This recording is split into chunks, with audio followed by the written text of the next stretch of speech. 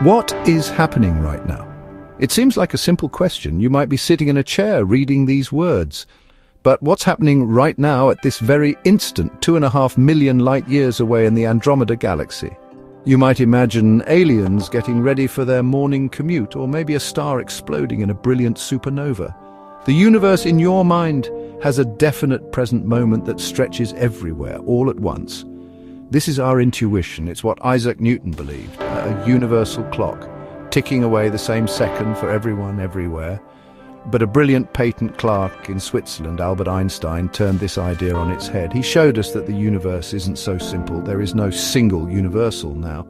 Einstein's special theory of relativity, born from simple postulates about the speed of light, revealed something truly profound. It told us that space and time are not separate things.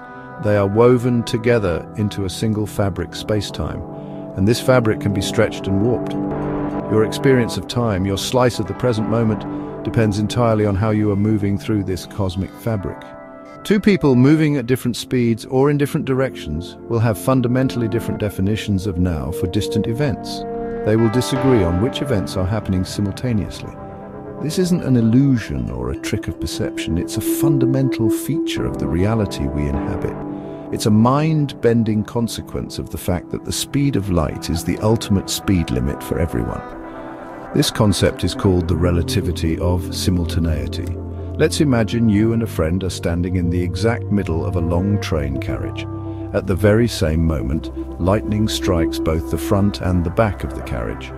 Because you are in the middle, the light from both strikes reaches your eyes at the same time. You would rightly say those two events happened simultaneously, but now imagine an observer standing on the platform as your train speeds past. From their perspective, the train is moving towards the light from the front strike and away from the light from the rear strike.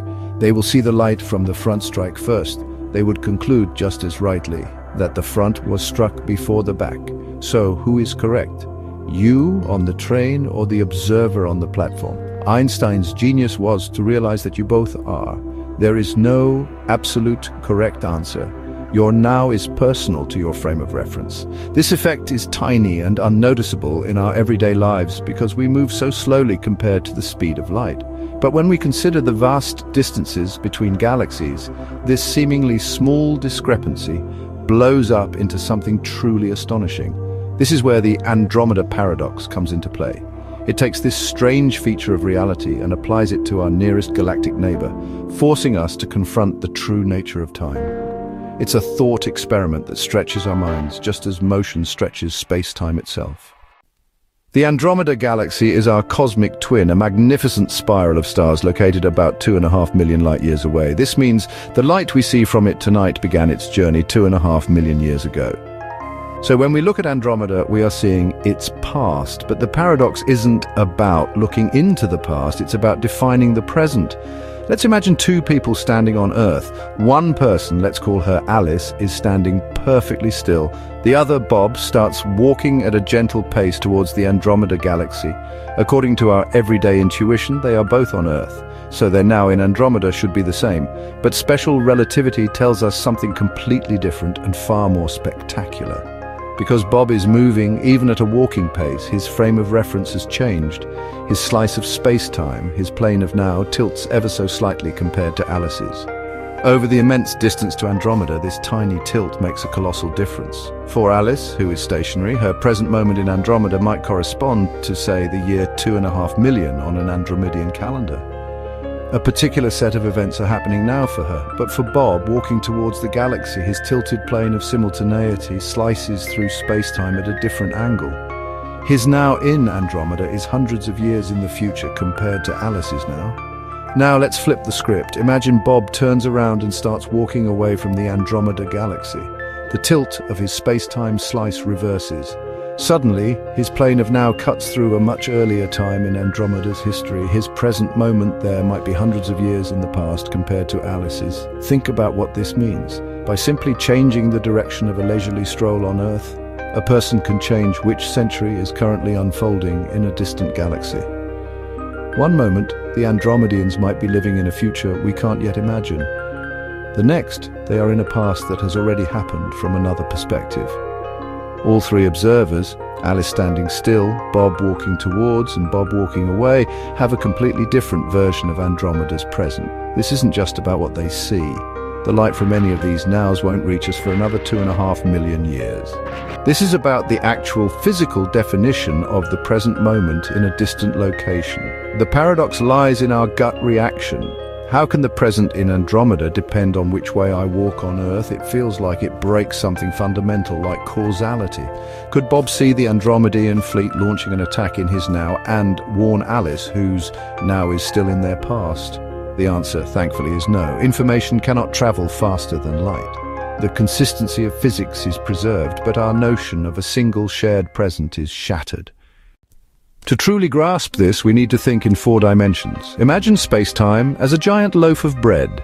This loaf contains all of cosmic history, every event that has ever happened or ever will happen, from the Big Bang to the end of time, is a point inside this loaf. What you perceive as the present moment is just one slice of that loaf. For someone standing still on Earth, their slice is cut perfectly straight across. This slice contains Earth right now, the Moon right now, and a specific moment in Andromeda right now. It represents all of space at a single instant in time according to their clock. This is their plane of simultaneity. When you start moving, your knife tilts. The faster you move, the more your slice of space-time angles through the loaf. For someone walking towards Andromeda, their slice angles forwards in time as it extends towards the galaxy. So while their slice cuts through the now on Earth, it intersects a point far in Andromeda's future relative to the stationary person. Conversely, walking away from Andromeda tilts the slice backwards in time. The slice still passes through the now on Earth, but it intersects a point deep in Andromeda's past. Each person's motion defines a unique, valid slice of reality. There is no single correct way to slice the loaf of space-time. This effect is also connected to another famous consequence of relativity time dilation. When you move, your clock ticks slower relative to a stationary observer. This might seem to add another layer of confusion, but it's part of the same beautiful, self-consistent picture. Time dilation and the relativity of simultaneity are two sides of the same coin, both stemming from the geometry of space-time. Your tilted slice of now is a direct result of how space-time must configure itself to keep the speed of light constant for you, regardless of your motion. The laws of physics don't change, but our measurements of space and time must be flexible to accommodate this universal constant. So, uh, the Andromeda paradox isn't really a paradox in the sense of a logical contradiction. It's a paradox only because it clashes violently with our ingrained earthbound intuition.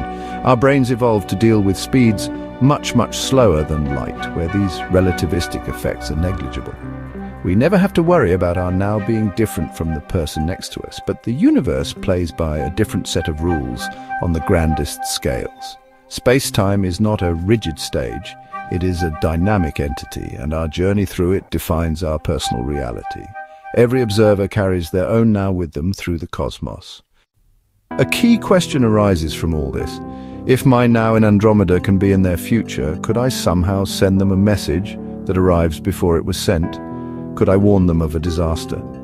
The answer is a resounding no, and this is where the genius of Einstein's framework truly shines. The universe has a built-in safety net, the speed of light. No information, no signal, no cause can travel faster than light. The events in Andromeda that are in Bob's future now are not causally connected to him. He cannot influence them, nor can they influence him. They lie outside what we call his past light cone, Think of a light cone as your personal bubble of influence within space-time. It extends outwards from you into the future at the speed of light and backwards into the past. Only events within your past light cone can have affected you, and you can only affect events that lie within your future light cone. The different nows of the Andromeda paradox all lie outside of each other's light cones. They are in a region called elsewhere. Alice Bob walking towards and Bob walking away can disagree on the order of events in this elsewhere region precisely because those events cannot causally affect one another. The order of causally linked events is absolute for everyone. A cup will always shatter after it is dropped. So while different observers slice up space-time differently, they will all agree on the sequence of cause and effect. Physics remains perfectly consistent for every single observer. The Andromeda paradox doesn't break physics, it reveals its true deeper structure. It forces us to abandon the comforting idea of a universal present. Time is not a river that flows at the same rate for everyone. It's more like a landscape, and our motion determines the path we take through it. The paradox highlights that there is no privileged observer in the universe. Your reference frame, your slice of now, is just as valid as anyone else's. This thought experiment is a powerful reminder of how science pushes us to question our most basic assumptions.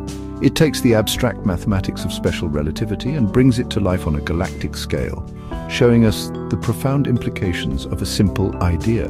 The speed of light is constant. The universe is a far stranger and more wonderful place than our everyday experience suggests. Time is personal. The past, present and future are not as clear-cut as we once believed and by simply taking a walk you can shift the present moment of a galaxy hundreds of years into the past or future. That's a powerful thought delivered to you by the cosmos itself.